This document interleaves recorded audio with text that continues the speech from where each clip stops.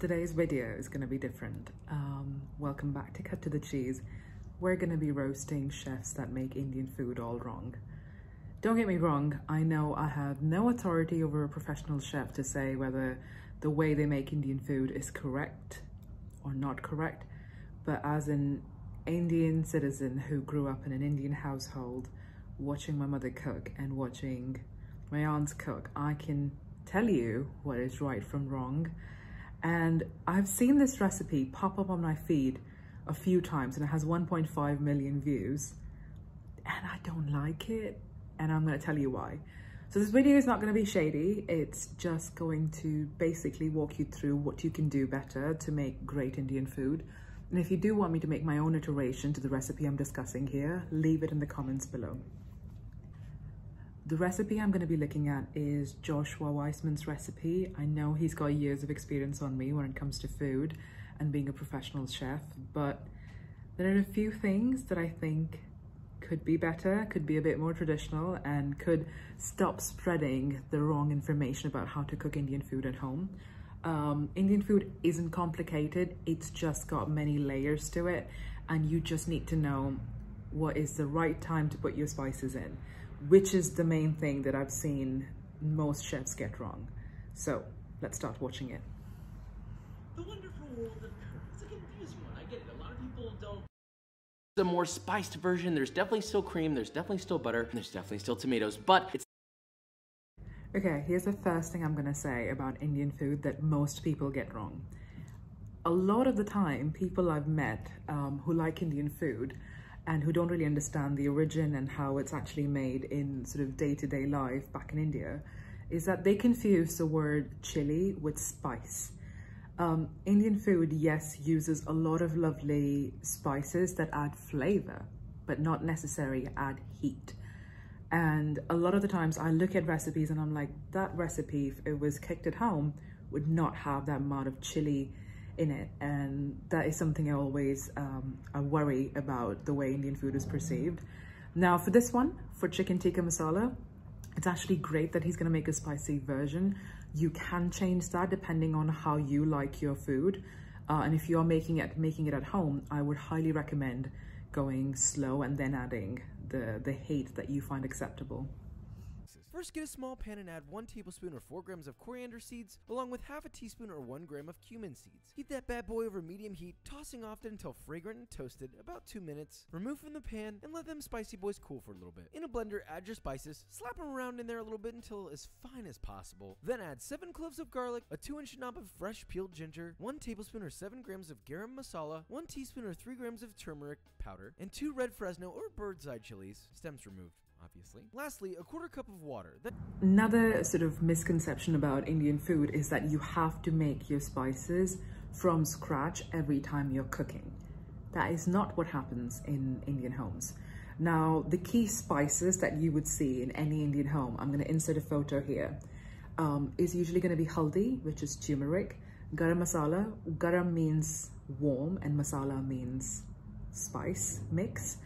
So garam masala is usually um, a, mix of spices that add really sort of warmth to a dish. And that honestly is just a feeling you're gonna get when you when you eat the dish. It's not really very chilly or adds heat, it just adds warmth. Um, you're gonna have dhania, which is coriander seeds that are completely crushed and powdered. You're gonna have jeera, which is cumin.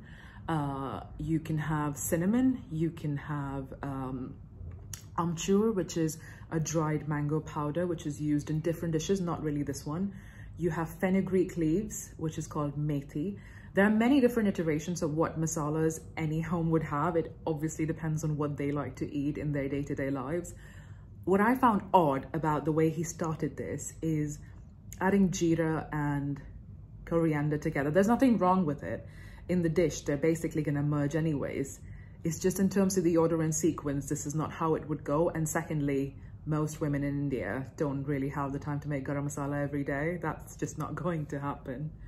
In After making his dried masala, he's making a paste with ginger, garlic, garam masala, and um, chilies, I believe. Chilies, stems removed. Obviously. Lastly, with stems removed and water. Begin blending this. You'll need to use your trusty blender plunger if you have one to help get it Now, I find that interesting because I don't think in Indian households you would make the full curry paste at the beginning. Most of the times you would start with the mirepoix, eh, which is the Indian version of the, the first three ingredients you need to create great Indian dishes. Now this changes regionally, wherever you come from, what dish you're trying to emulate. Well, there's gonna be a Punjabi dish, um, a South Indian dish, it depends. Usually there's going to be onions, ginger, garlic. Sometimes the ginger is swapped for green chilies. Sometimes it's swapped for the stems of coriander. Um, sometimes it's just swapped for cumin, for example. But those are usually the base flavors that go into every Indian dish. And I haven't seen many times this curry paste being made before um, they start creating the layers of flavor in the pan. Because usually what would happen is you would add your onions, you would add your jeera, which is cumin, you would add your green chilies, you would add your ginger garlic paste, and you would add all the other flavors that he's just currently pulsating into one. Now the reason Indian food does that is that when you add spices in the right order, you're gonna have different layers of flavor. Yes, you can chuck everything in a pan and call it a day, but the way Indian cooking is usually built, it's about building that flavor layer by layer and allowing the oil to separate from the spices. Use your trusty blender plunger, if you have one, to help get it smooth. Once it's mostly smooth, go ahead and drizzle in 2 tablespoons or 30 milliliters of canola oil while blending. Now keep on blending until nicely incorporated and smooth. Remember, this ain't no chunky salsa. Get your to be fair to him, that curry paste does look really, really great. And if I was making a quick version that wasn't very authentic to how I've seen it, you know, made at home, I wouldn't mind using it that way. But most of the time, I haven't seen that happen. Please don't skip this or I'll be very angry with you. So first cut 2 pounds of boneless, skinless chicken thighs, tongue twister, into bite-sized pieces. In a bowl, mix together 1 cup or 255 grams of in the yogurt mixture, cover with plastic wrap, and let marinate for 20 minutes or overnight. So there are a couple of things I wanted to mention about the chicken, the cut of chicken he has used, as well as the yogurt mixture. Um, now, most of the times what would happen is, and I, I had watched a video by an Indian chef called Ranveer Brar, and he had mentioned this in his show, and I found that really interesting because I had no idea before this. Basically, butter chicken was a dish that utilized the chicken that was cooked in the process of making a chicken tikka masala. Because usually a chicken tikka masala is essentially cooking the chicken on a charcoal grill, getting those lovely charred grill marks, and then making a gravy with it. And that makes the flavor have that smokiness that you're looking for. Obviously at home, you can't really emulate it. You can add a little bit of smoked paprika and that could help. With what he has done here is usually if you were marinating chicken, and this is usually a one size fits all marinade that I have seen for Indian food and I do it myself. Yogurt is a must, so he got that right. Uh, I would add garam masala, ginger garlic paste, some coriander, some cumin, all of the different spices and some um, coriander root, which would be from the fresh coriander because that just packs so much flavor. The one other thing he hasn't added in any of his layers yet is green chilies. Green chilies is such an important flavor to have and to be cooked out in, in the layers that we're talking about of Indian food. So I'm surprised he hasn't added any of that. That's how we would do it differently if it was supposed to be made in India. Now, one more thing that I have to mention here, which I know is going to get me a little bit of heat. Indian chefs, or sorry, Indian homemakers, um, Indian people, my family, me, when we were growing up back in India, we were not that picky about the cut of meat. Now, most restaurants back in India as well would utilize the whole chicken. They don't really cook the chicken breast and chicken thigh separately. They just do it all in one because that's the easily accessible way of doing it. Um, I completely see why Western chefs usually have a narrative about, you know, either using chicken thigh or chicken breast. You do you it will come out tasty anyways. Um, in India, less waste is definitely ideal. A lot of the times actually, I would notice people use a full uh, piece of chicken without even chopping it like he's done there first, cook it on the tandoori and then get the bits out. So you basically maximize the flavor by cooking it bone in. you've gotten um, the char and then you're basically adding it to the curry. Please do me a favor, I really gotta note this. If you don't wash your body with a one to one ratio of water to rice and some cardamom pods in a pressure. Now, this is just a personal irk. Um, I'm not a big fan of cardamom. I know a lot of the times butter chicken recipes call for it. I find, considering I've grown up in an Indian household, cardamom was always used um, in sweets. It would be used in like the halwas, it'd be used in gulab jamuns, it would be used in rasmalais. And I find that is such a weird flavor to have in rice. Having said that, you know what Indian people do like? Jeera rice. Jeera means cumin. So all you would do is basically temper some cumin, bay leaf, and curry leaves and turmeric into oil. You could have about two or three tablespoons of oil and then you just add the water, let it boil and cook the basmati rice the way it is. It is delicious. So I would highly recommend you try cumin rice with it and not cardamom rice because nobody wants that. One 28 ounce can of whole peeled tomatoes and pass that pureed mixture through a sieve and place that to the rooney. Now heat a large saute pan or a medium sized pot over meat. My mother would never, never ever use that. I do, and I personally actually do, and I know she's gonna kill me when she knows this. But the whole idea of canning is never I was just never heard of when I was growing up. Um, canned tomatoes aren't a thing. India has some beautiful produce and most chefs and most people, even if they're cooking at home, they would do this out of fresh tomatoes and cook it out. You could do it two ways. My mother would just chop the tomatoes and use it in the curry and then blend it all together towards the end. Um, or you could boil the potatoes by scoring the skin and generally sort of cook them through so they're sort of canned already but it retains the color better and if you really want to make chicken tikka masala and have that red color I usually go the the route of using a sort of Kashmiri chilies which again I don't think he has so far um, and tomato because both of those things add really a beautiful depth of color without adding any food coloring. This pot over medium high heat with enough oil to coat the bottom. Sear your chicken on both sides till nicely brown, about 3 to 4 minutes each side, and place to the side as well. Now once all your chicken is seared, and you have a nice little fond in the bottom of your pan, reduce the heat to medium and add 4 tablespoons or 56 grams of unsalted. Now again, here, um, I've already mentioned I would have preferred using whole cuts of meat. You don't have to do this in the pan. What I usually like doing is A, this is, uh, this is a really, really good tip. When you're marinating your chicken, add more yogurt than you want to cover the whole chicken. So what I usually do is drain the mixture of the chicken from the yogurt. I basically cook the chicken on the highest temperature possible for 20 minutes so it gets that that charry smoky flavor. You want the skin to have some black bits you definitely do. The remainder of the marinade i use it right after i've added onion cumin ginger and garlic. That flavor and that tanginess of the of the yogurt with the masalas it just adds so much. And don't worry about it not being food safe. Obviously, you're going to completely cook it off. You're going to cook it off until you see the oil separate from the yogurt and oniony mixture. Do not make Indian food if you're not going to wait for the oil to separate at every layer. Boobly, add one large diced sweet onion. Let that cook until the onion begins to turn translucent.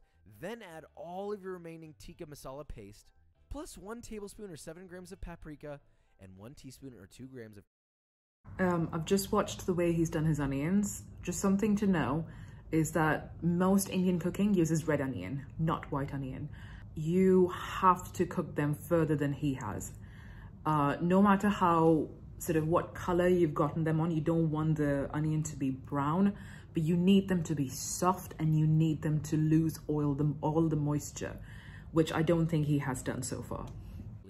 Cook that stirring often until the paste begins to stick to the bottom of the pan. Then add your pureed tomatoes, stir nicely, and that stir. Oh, so he has added Kashmiri chili powder. I would say I wish he had added more of the Kashmiri chili and not added paprika. I personally don't find paprika has such a offensive flavor.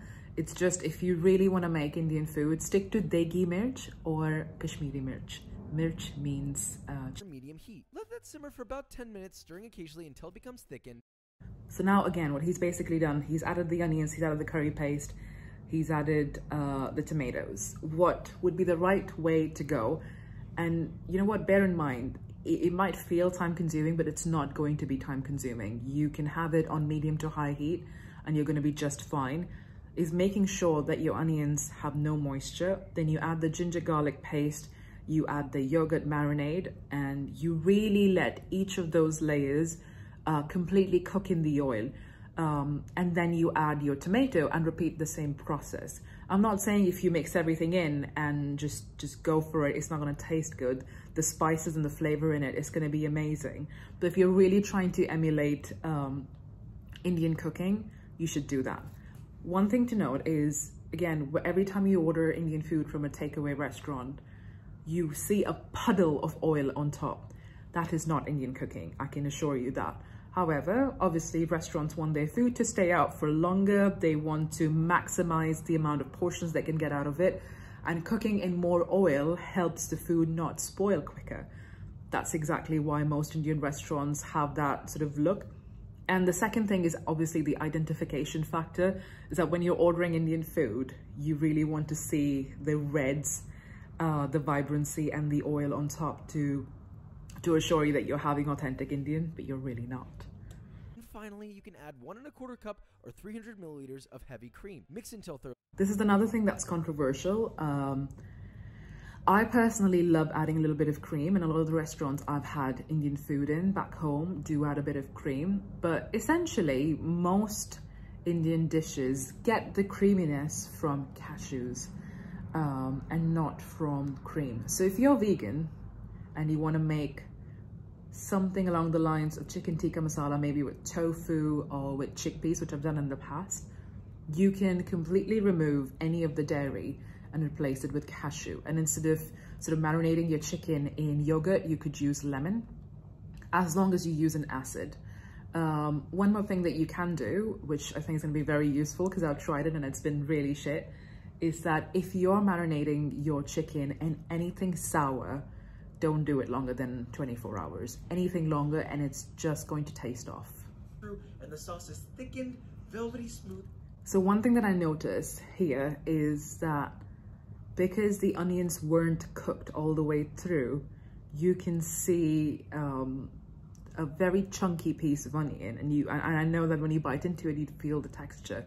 The reason onions are softened in Indian cooking is because you're essentially emulsifying the sauce without having to use um, uh, a blender. And in this particular dish, that texture would have been preferred I really like biting into sort of cumin seeds um, when I'm eating, but not everybody who'd make Indian food would like that. Minutes or until chicken is cooked through and the sauce is thickened, velvety smooth, and gorgeous. Season that to taste with salt and serve alongside some lovely steamed basmati rice, garnished with.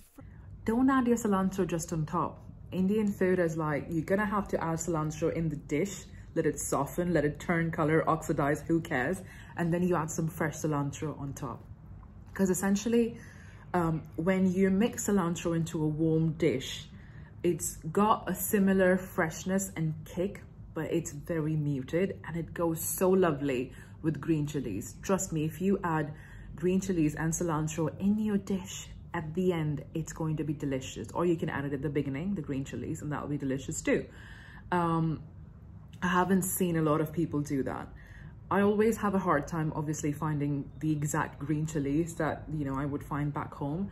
Jalapenos work just as well. Not the pickled ones, just plain green jalapenos. This curry honestly looks really delicious and I would eat it, but I would sit here and correct him and judge him on the inside. Um,